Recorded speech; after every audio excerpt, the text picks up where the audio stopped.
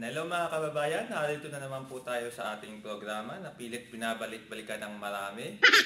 At ang pag-uusapan po natin ngayon ay total nag-start pa rin naman yung bagong taon, year 2018. Eh, pag-uusapan natin, paano natin gagawing mas makabuluhan ng bagong taon? Paano natin bibigyang buhay? Paano natin siya bibigyang laman? Ito po ang ating usapan, usapang laman.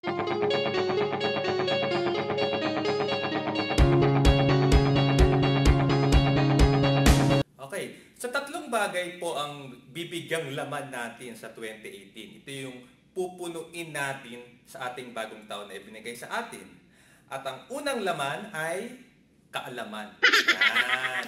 Kaalaman meaning uh, learning, meaning uh, uh, lesson.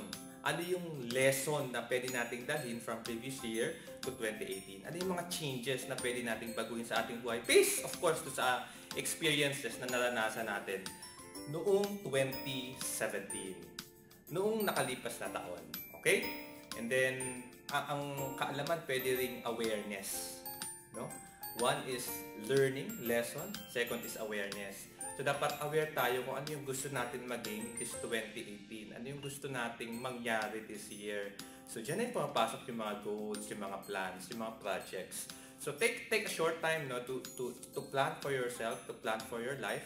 And then, um, let's see what you can do from there. Speaking of kaalaman, yung kaalaman na yan, parang, parang nagko-commute ka lang, sumasakay ka ng jeep, or parang nagda-drive ka, no? Hindi po pwedeng sasakay ka ng isang sasakyan, pero hindi mo alam yung direction mo. Na, naranasan nyo na ba yung sumakay ng jeep, tapos magbabayad ka, sasabihin mo dun sa, sa driver, Ma, po. Tapos tatanong yung driver, saan po ito? Saan po kayo? Yan. Tapos sasabihin mo, ah, kahit saan po. So, hindi natin pwedeng gawin yon So, kailangan alam mo kung saan ka pupunta. Kasi una-una, ang hirap computein ng pamasahe pag di mo alam yung pupuntahan mo. Ganun din in our real life, no? Hindi, pag hindi mo alam yung direction mo, hindi mo alam talaga kung ano yung gusto mong mangyari, ang hirap malaman kung ano yung kakailanganin mo. So at least, uh, dapat magkaroon ka ng idea talaga kung ano yung gusto mong maging at this start of the year.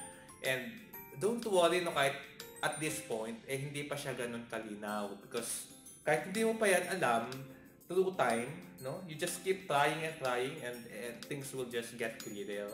You will figure it out better with, with your experiences that you will gain and with the people that who can help you. Okay? So that's number one, kaalaman. Now, ang ating second laman, our second laman is pakialaman. Ayan, pakialaman. Dapat meron kang pakialam. Meaning, you need to take charge of your life. Hindi pwede yung palilipasin mo lang yung bawat araw na na hindi ka nagte-take charge. Nahayaan mo lang na mangyari yung mga bagay kahit na meron ka naman talagang gustong mangyari. And speaking of pakialaman, eh, ito ano lang to uh, parang warning. May mga bagay tayo na dapat pinapakialaman mo. Ito yung mga bagay na may control ka, di ba? Pero hindi rin natin uh, ikakailan na mayroong mga bagay na hindi mo talaga control. At mas mainam siguro no, na this year, hindi mo na yun papakialaman. Total, wala ka rin naman ng control, eh hayaan mo na yun. Ba?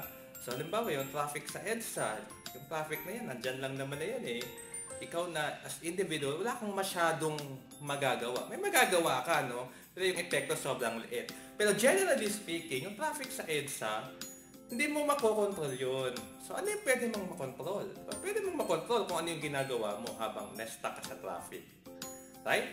So, kita mo yung galawan sa labas, sa, sa kalsada, mabagal, baka pwede mong baguhin yung galawan mo habang na-stuck ka sa traffic. Kumbaga, eh, yung mga bagay na magagawa mo, eh santong paspasan. Yung mga bagay na hindi mo magagawa, santong dasalan. Pagdadasal na lang natin yan. Okay? So, that's our second laman, pakialaman. And our third laman is palaman. palaman. Ano, ano yung ibig kong sabihin sa palaman? Ibig kong sabihin, di ba ang, ang, ang palaman, napapagitnaan niya ng dalawang, ng dalawang something, no? Pwedeng tinapay eh. Tapos ikaw yung palaman. Ibig sabihin, this 2018, baka pwede mong palamanan yung sarili mo, papalibutan mo yung sarili mo ng mga bagay-bagay o mga tao o mga pangyayari na pwedeng sumuporta sa iyo. Di ba? So, baka pwedeng humanap ka ng mga tao na very positive that will support, who will support you in, in achieving your dreams. Who will remind you kung ano yung mga pinalano mo at the start of the year, di ba? At who will help you kung kailangan mo ng tulong. So, halimbawa sa akin, ako, nalaman ko, masyado akong makakalimutin. Ba, start of the year, I have my plans, but because of other things that happen, I get distracted so often. And uh, talagang nawawala yung, yung, yung, yung direction mo during that year.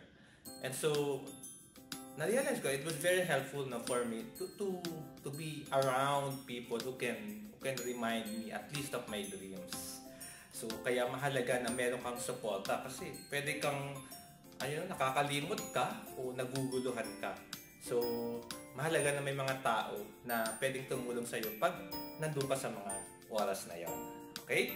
So, again, bigyang laman po natin ang ating 2018 kaalaman, dapat aware ka dun sa mga lessons na pwede mong dalhin this year at aware ka kung ano yung gusto mong maging, ano yung mga plano mo, ano yung mga direction mo, kaalaman. Second is pakialaman. You need to take charge of your life. Hindi mo na hayaan yung mga bagay-bagay na mangyari na lang. Diba? You have to use what you have. You, ha- you, need, you need to use your your your talent, your your mind, your thinking, your everything. Whatever you got, to make things happen, to take charge, makialam sa mga bagay na kaya mong kontrolin. At sa mga bagay na hindi, hayaan mo na yan, ipagdasal. At lastly is palaman. Ayan, palaman. Papalibutan mo ang sarili mo ng, ng mga tao, ng mga bagay, mga pangyayari. Pwede kumatin ng seminar, halimbawa, to, to surround yourself with, with people who can support you, who can remind you, who can help you. So that's it mga kababayan. I hope this has helped you in, in giving you insights in your planning for the year. So if you need more, uh, or if you want to hear more updates from me, just subscribe to my channel, www.smartpinainvestor.com. And I also have my Facebook page, smartpinainvestor.com with Omeng Tawid. Thank you for listening, and I hope you have a great and better year this 2018. See you and God bless. Bye-bye!